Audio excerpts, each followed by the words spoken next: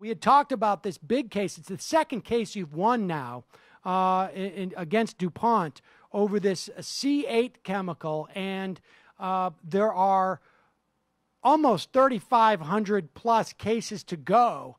And you've already won two cases for millions of dollars. We're talking about uh, cases, if you tally them up, uh, well into the billions of dollars. And yet, for DuPont, this is this could just be cost of doing business. And you outlaw you I should say you outline that dynamic in uh, this fiction book, Law and Disorder. Um, just uh, how does I mean I know I may be jumping the gun a little bit, but the lead character who you call Deke, how does his career parallel your own?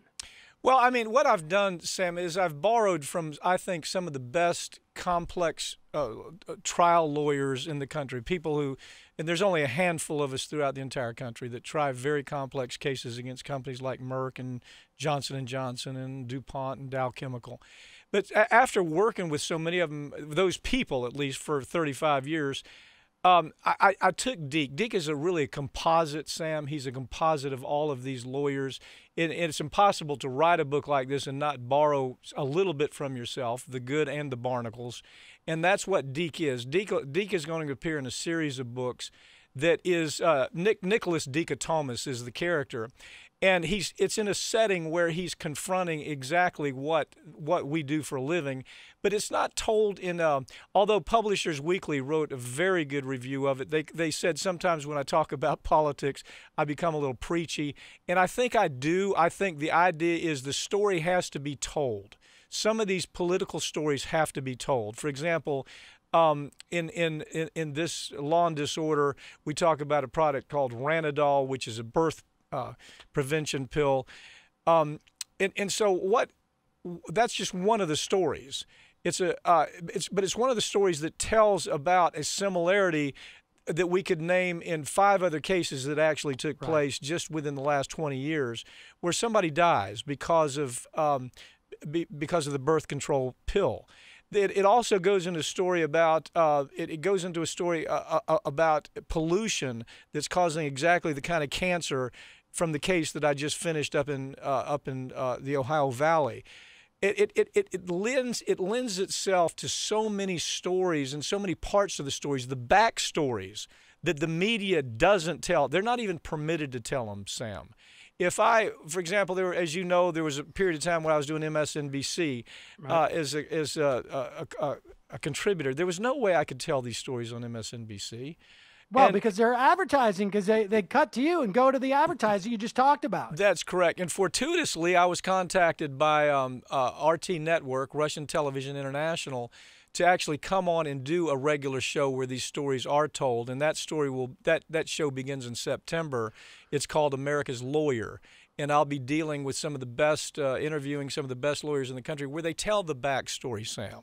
It's not just the headline. It is who are the who are the CEOs who committed this fraud that should have them actually in prison?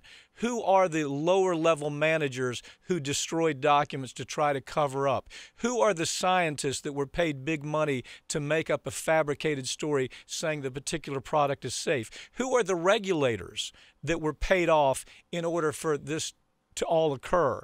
So those are the stories that'll be told on America's Lawyer, which is really an extension of what I'm trying to do with these fiction books to tell a story that you can read on the you know, you can read the story on the beach. Right. It doesn't take long. You can read the book in a, you know, day day and a half and you can come away and say it was a good story but you can also say, I learned an awful lot in that story. And sometimes that's the only way. That's why I think Grisham is so brilliant. Grisham is mm. brilliant because if you read a Grisham novel, you're going to hear things that you've never heard to where you almost go, Is that true?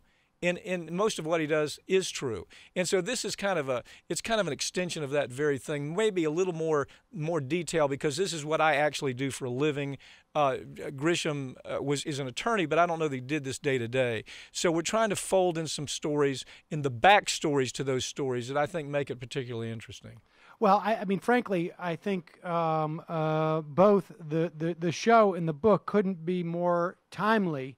I mean, uh, knock on wood, we're going to have a Democratic president appoint uh, the next Supreme Court justice who will sit in place of Antonin Scalia, tilting the court um, at least nominally to the left. And I think uh, there's a lot of cases uh, that about arbitration and about um, uh, wage Mm-hmm. theft and about uh, uh, issues access to the courts That can be turned around, think- yeah. that can be turned around. And I think this is a time, and certainly um, uh, Law and Disorder, which people can find at lawanddisorderbook.com, and uh, your new show, which starts in September, America's Lawyer, are, are, going to be two uh, really important pieces in making Americans genuinely appreciate the role of plaintiffs' attorneys and the need uh, to push back against this uh, corporate uh, mal and misfeasance. And Yeah, of course, I- I'm- you doing uh, you you know uh, I'm I'm excited because now I know you're out of the heat of the battle. We'll have you back on Ring of Fire. Yeah, please do, Sam. I, I appreciate that. I'll be glad to appear in as much as you want me to and talk about a lot of these things that you and I used to talk about. Right. I just reached a very busy point in my life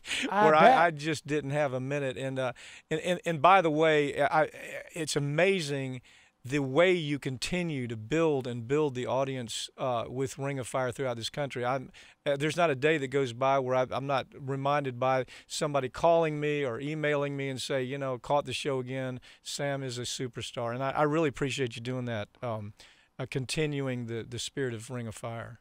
Pap. Uh, thanks so much. We'll talk to you soon. Thank you, Sam.